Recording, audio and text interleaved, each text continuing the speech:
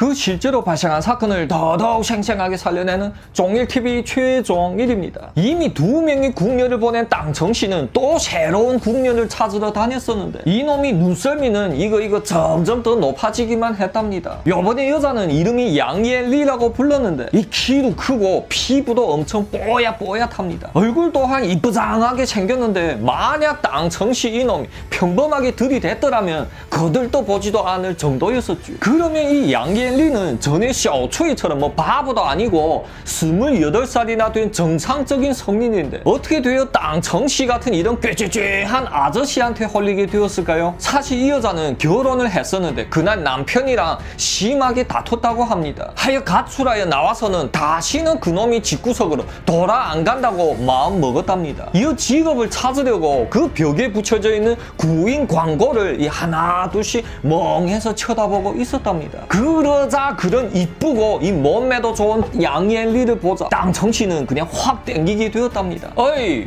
혹시 직장을 구하고 있어? 내 배과수원을 하나 크게 하는데 이 내 쪽에 와서 일하겠어? 내 월급은 이 달달하게 챙겨줄게. 네, 땅청 씨가 이 뒤에서 뭐라고 얘기하자 양예리는 뒤돌아보다가 그냥 화들짝 놀라서는 뒤로 물러나더랍니다. 네, 땅청 씨 그 너무나도 음흉하고 이 더러운 몰골이 그냥 깜짝 놀란 거였죠. 이어 양예리는 피 하고 그냥 콧방귀를 뀌면서 거들떠 보지도 않더랍니다. 아야 지금 나를 무시하고 있는 거니? 땅청 씨는 진심 빡쳤지만 꾹 참고는 쟤 혹시 돈 관리를 해본 적 있어? 내 회계까지 해주면은 내 한 달에 기본 월급 천위엔까지 해주겠어. 그리고 장사 매출에 따라 이 보너스도 또 따로 챙겨주지. 어떻소? 응? 천위엔이나 준다고? 그 당시에 이런 시골에서 천위엔이면 엄청난 돈이었었죠. 양엘리는 확 땡기긴 하였지만 또 이내 비싸게 놉니다. 음, 월급을 천위엔씩 주겠단 말이지. 그러면 내 먼저 가서 회사 환경이 어떤가 한번 체크해보고 그때 가서 다시 결정할게요 라고 그냥 째서 해하며 얘기를 하는 거랍니다. 그러자 땅청 씨는 이 겉으로는 억지로 웃었지만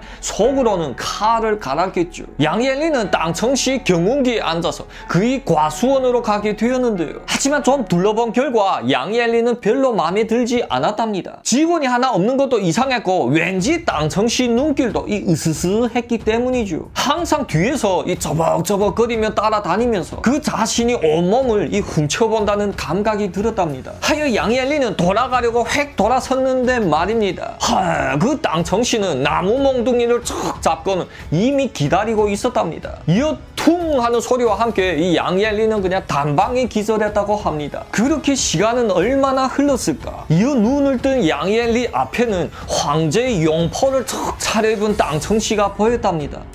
제정신 드니? 야 반갑다 야. 내 궁전에 온 걸 환영한다. 이제부터 내는 황제고 니는 나를 모셔야 되는 궁녀다. 어? 그제야 그 자신이 몸을 보게 된 양예리는 화들짝 놀랍니다. 실월이 하나도 없이 그냥 맨 몸뚱이만 그냥 있었고 이미 저놈한테 더럽혀진 흔적도 있었답니다. 까! 양예리는 그냥 온 힘을 다해서 비명을 질러보지만 땅청 씨는 피시 웃습니다. 네 목이 터질 때까지 한번 소리 질러봐라. 누가 들 수 있나? 뭐 어찌됐든 전에 계산은 먼저 해야겠지.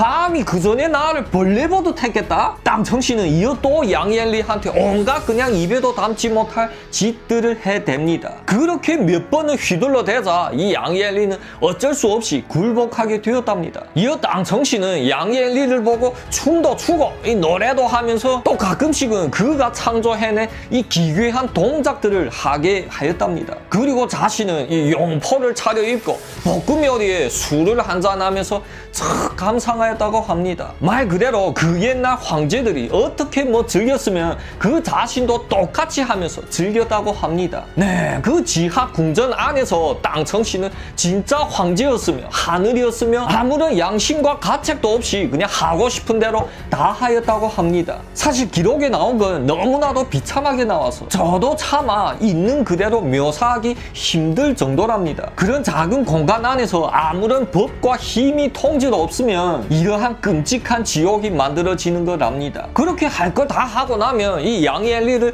두 손 두 발을 묶어서 안에 그냥 잠가 놓으면 끝. 그 다음에 지 과수원 일도 하고 뭐 장사도 하면서 보통 일상으로 돌아간답니다. 이어 밤이 되어 돌아오면 또 악몽은 시작이죠. 양엘리는 처음에 며칠 동안은 그냥 고분고분하게 따랐답니다. 어떡합니까? 아니면 뭐 또 죽이겠는데. 하지만 며칠이 지나자 이 땅청 씨가 하는 짓거리들은 그냥 점점 더 심해가기만 했답니다. 그러자 더 이상 못 견디게 된 양엘리는 욱했답니다. 야, 이 X야! 좀 그만해라, 이 변태 같은 놈아! 라고 그냥 소리 지르고 말았답니다. 뭐? 지금 궁녀 주제에 감히 황제한테 대더니 니, 니!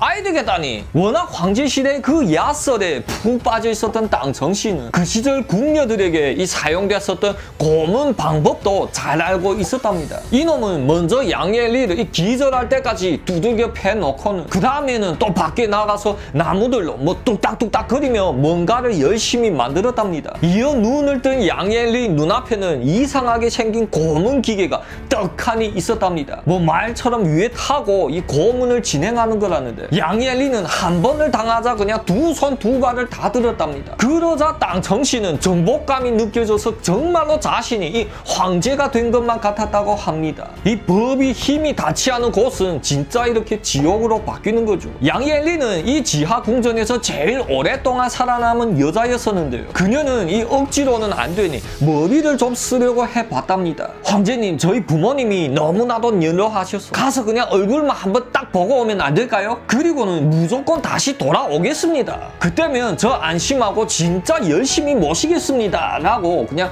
구벅절까지 하였다고 합니다. 뭐이라고? 하참.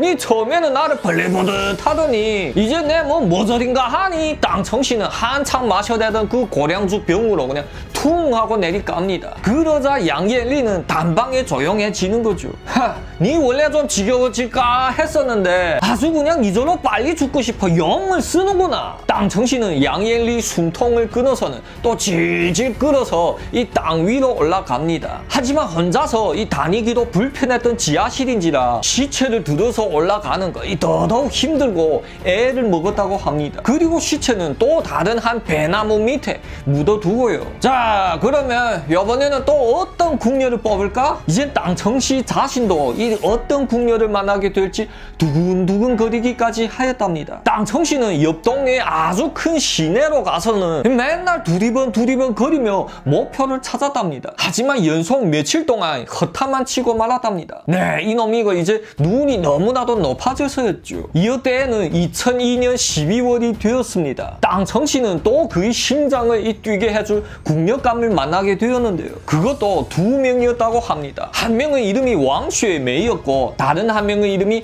왕예예엔이었다고 합니다. 두 명 다 20대 초반이었는데 그 중에 왕쉐 메이는 이 나이에 맞지 않게 두 번이나 이혼한 경력이 있다고 합니다. 이어 왕쉐 메이는 남자를 믿지 않고 이 자기절로 노력하여서 사업을 좀 한번 해보려고 했었답니다. 이어 왕쉐 메이는 자신이 전 재산을 가지고 이 친구인 왕예엔이 살고 있는 곳에 이 찾아오게 된 거였죠. 그리고 그 두 명은 복장점을 차리려고 또 빈 상가를 찾기 위해 나왔었는데 바로 이 땅청씨 눈에 들게 된 거였죠. 땅청씨는 그때 땅 문서를 이 항상 갖고 다니며 작업을 하였다는데요. 그 두 여자한테 척 보여줍니다. 봤어, 내 이렇게 큰 과수원을 하는데 사무실 관리원이 좀 필요하오. 쟤네처럼 이렇게 먹물을 좀 먹은 직원이면 더 좋은데 여러 가지 사무랑 뭐 회계랑 봐줬으면 해 하는데 쟤네 생각은 어떻소? 네, 그러자 왕쉐메와 왕예예는 귀가 솔깃해졌답니다. 에?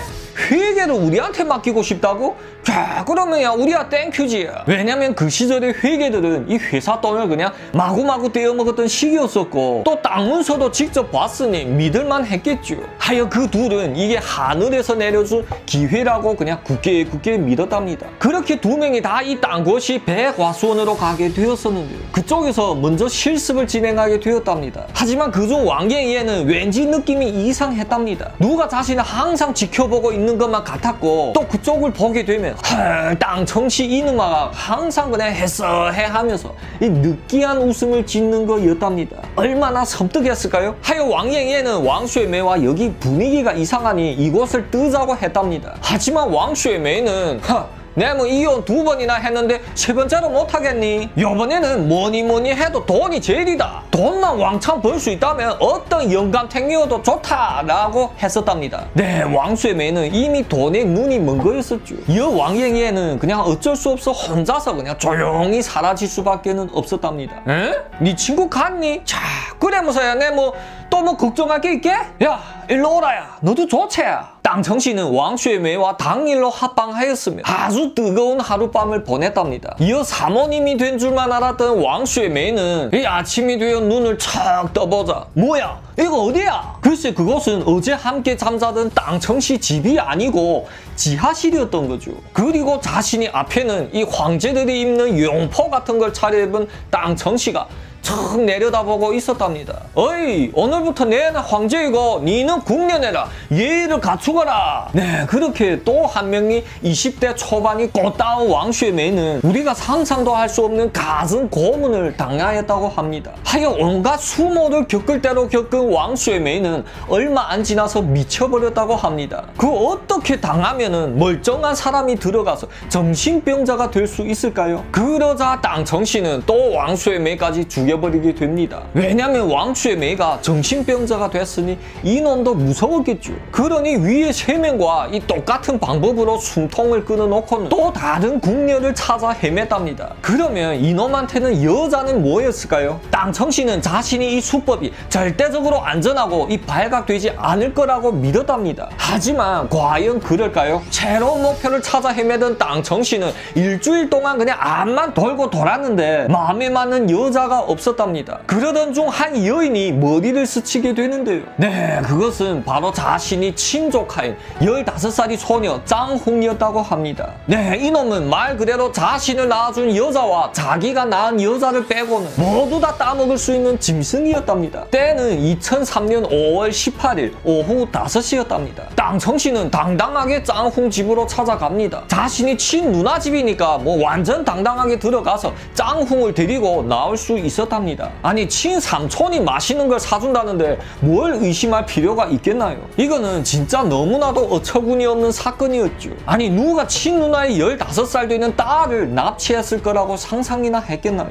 그렇게 지하궁전으로 꼬셔간 뒤에는 다 그냥 똑같았답니다. 뭐 친족하니 살살 다루어준다 뭐 이런 인간성은 아예 조금만도 없는 놈이랍니다. 그렇게 땅청씨는 짱홍을 한참 동안 또 휘둘러 놓고는 또 뻔뻔하게 친누나 집으로 달려갔답니다. 뭐? 조카가 살해졌다고?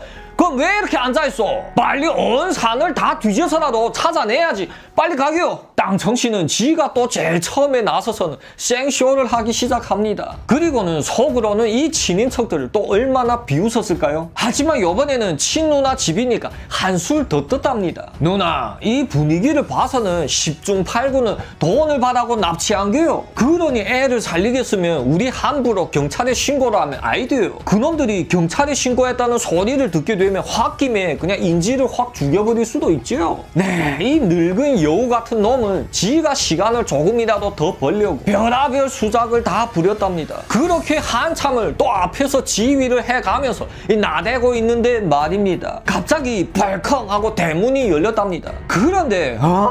짱홍이 벌거벗은 채로 온몸에 그냥 상처 자국이 난 채로 달려 들어왔다고 합니다. 짱홍아! 네, 그 짱홍이 엄마이자 땅청시 친누나는 그냥 짱홍을 와락 끌어안고 엉엉 울기 시작했답니다. 뭐야 이게 대체 어떻게 빠져나온 거야? 땅청 씨는 짱홍이 눈에 띄우기 전에 그냥 조용하게 이 뒷문으로 도망을 쳤다고 합니다. 그러면 이 짱홍은 어떻게 그곳에서 빠져나올 수 있었을까요? 네, 그 사실은 이러했답니다. 짱홍은 지하실 안에서 한 비죽이 나온 암석을 발견하고는 그곳에 겨우 가서 이 손을 묶어둔 밧줄을 미친 듯이 그냥 비볐다고 합니다. 그러자 그 밧줄은 이미 너무나도 오랫동안 축축한 데서 썩어서 그런지 그만 툭 하고 하고 끊어졌다고 합니다. 그리고 마침 그날따라 이 땅청 씨는 가운데 지하실 문을 잠그지 않아서 천만 다행으로 도망쳐 나오게 되었답니다. 이어 땅청 씨 그 인간이기를 포기한 악마 짓은 땅청 씨 누나한테 알려졌었고 이제 뭐 잡아야겠죠. 온 마을 주민들이 그냥 곡괭이며 뭐 나시며를 갖고 나와서는 그냥 샅샅이 뒤져봤지만 땅청 씨는 없었답니다. 네, 그 화난 마을 주민들은 잡으면 죽여버리겠다고 그냥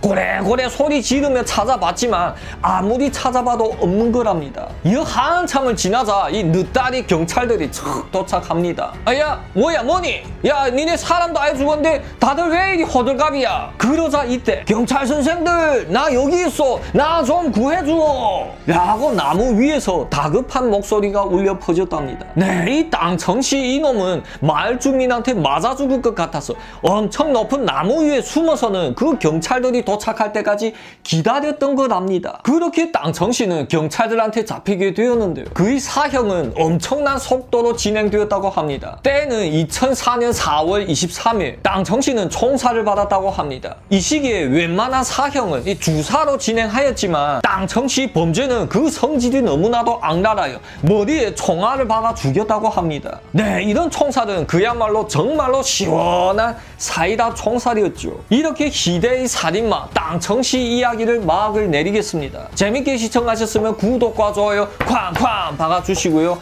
다음 이야기에서 또 짜이지